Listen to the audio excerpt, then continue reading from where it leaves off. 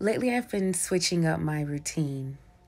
I now use a paddle brush to brush out my hair every other day to stimulate my scalp and make sure that I don't have any knots or tangles in my hair.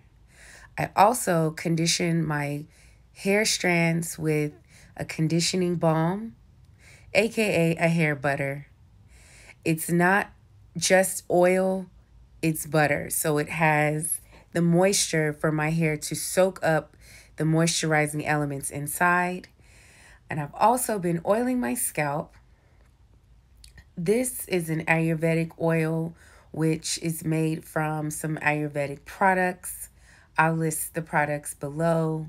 And I also added some lavender buds inside for fragrance and extra, extra love. And lastly, to the right is my wax stick which I just use to help lay down my edges.